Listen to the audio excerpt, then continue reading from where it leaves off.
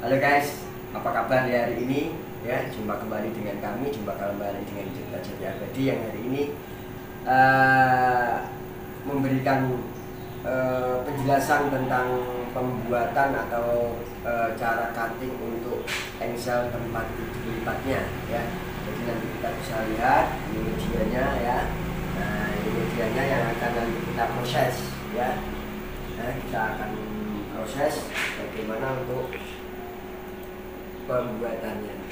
Oke, kita lanjut untuk melihat cara pemotongannya. Oke, jangan lupa ketik like, subscribe dan nyalakan loncengnya.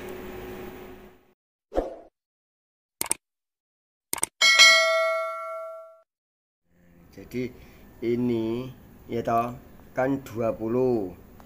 20 Nah, eh, katakanlah ini jadi dua. Ini 20 lagi di sini. jadi kan ini nyambung sini pak Eh, eh, nyambung situ. Bisa enggak gitu loh? coba dulu Coba dulu ya. Jadi untuk posisi eh, desainnya ya, untuk pembuatan engsel eh, tempat tidurnya ya seperti ini. Nah, jadi bisa lihat ya nanti untuk plat bajanya atau plat besinya nanti kita bisa potong pakai eh, cutting laser ya, seperti itu. Oke lanjut Mas Bro.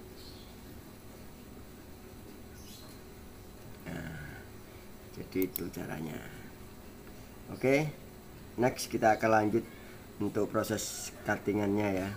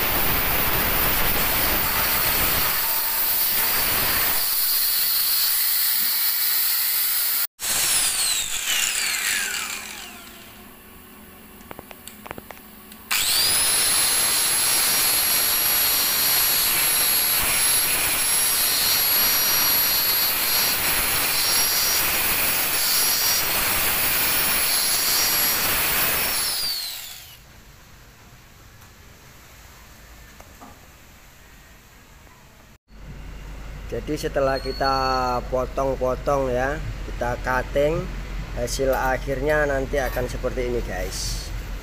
Ya. Hasil akhirnya akan seperti ini. Jadi nanti kita tinggal lobangi ya. Jadi nanti kita tinggal lobangi. Seperti ini. Oke next time videonya ya